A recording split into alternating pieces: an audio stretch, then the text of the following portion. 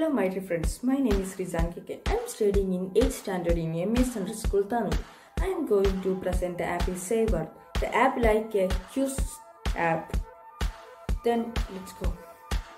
This is the first page. First we had a Saver title and a background image and a start button.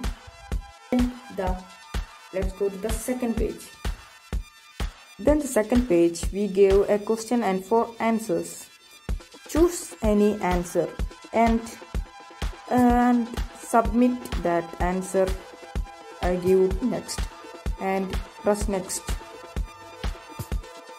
And let's go to the third page.